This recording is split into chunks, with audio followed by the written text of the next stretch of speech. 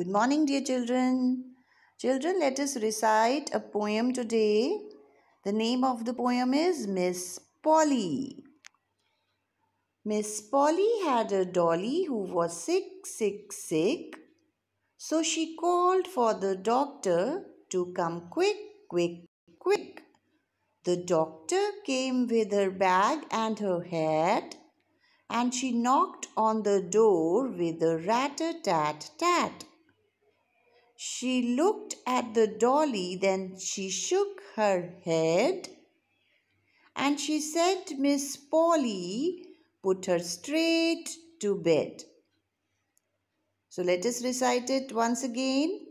Miss Polly had a dolly who was sick, sick, sick. So she called for the doctor to come quick, quick, quick. The doctor came with her bag and her hat, and she knocked on the door with a rat-a-tat-tat. She looked at the dolly, then she shook her head, and she said, Miss Polly, put her straight to bed. So children, I hope you like this poem. So learn this poem and recite it once again.